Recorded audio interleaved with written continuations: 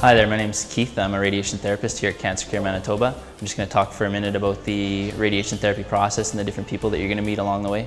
Um, here at CancerCare Manitoba, the radiation therapy uh, department is located in the basement. Um, so if you're going to come from the street level, you'll come in the main doors at CancerCare Manitoba and take the bank of elevators down to the basement level. Uh, once you're out of the elevators, there'll be some signage that'll direct you towards the reception desk and from there the staff will um, direct you to where your appointment is going to be. Um, as far as the radiation therapy process, most people will come in for their first appointment and they'll see the radiation oncologist.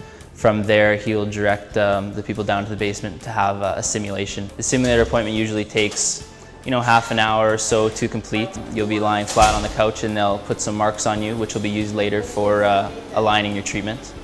The treatment machines themselves, there's seven of them located on this level, and they are uh, vary in energy depending on the area of the body that we're treating.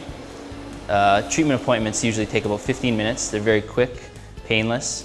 Um, once you have your treatment, you're free to go. There's no um, lingering radiation in your body. As a radiation therapist, my job is to work with the radiation oncologist, with the nurse, as well as the physics and support staff here at CancerCare Manitoba to plan and deliver the radiation treatments to patients that are, are coming for therapy.